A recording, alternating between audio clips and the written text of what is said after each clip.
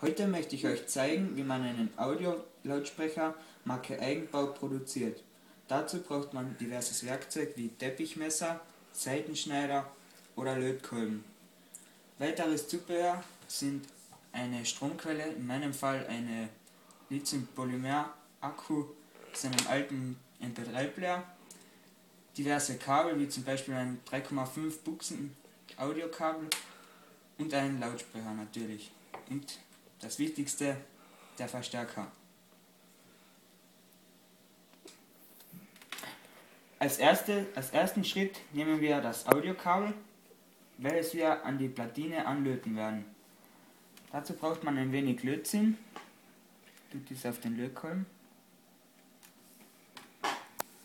Und nun muss man schauen, dass man den richtigen Kontakt auf, dem, auf der Platine erwischt. Dies ist bei jedem Audioverstärker unterschiedlich.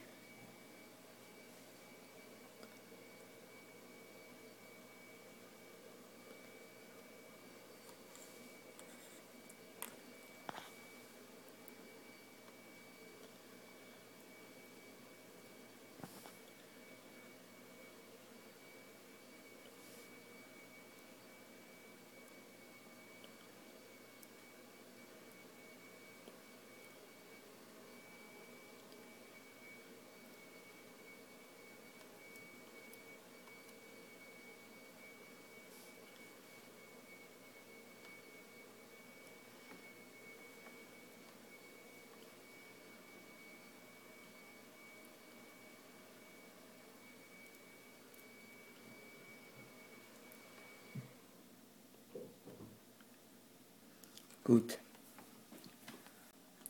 Der nächste Schritt ist das Verbinden der Stromquelle mit der Platine.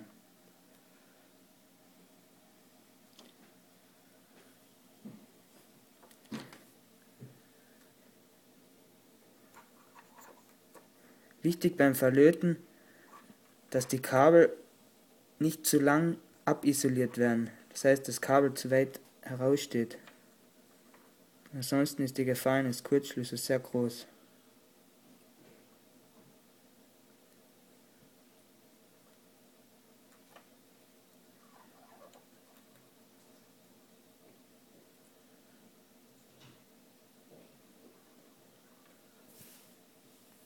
Der nächste Schritt ist das Anschließen des Lautsprechers an die Platine. Hier wieder wichtig, die richtigen Kontakte zu erwischen.